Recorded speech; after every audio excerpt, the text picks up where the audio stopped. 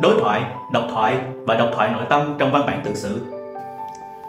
Đối thoại là hình thức đối đáp, trò chuyện giữa hai hay nhiều người, có tác dụng làm cho câu chuyện trở nên sinh động và hấp dẫn hơn. Ví dụ, mẹ tôi nói, con hãy nghỉ ngơi vài hôm, đi thăm các nhà bà con một chút rồi mẹ con mình lên đường. Vâng. Độc thoại là lời của một người nào đó nói với chính mình hoặc nói với ai đó trong tưởng tượng.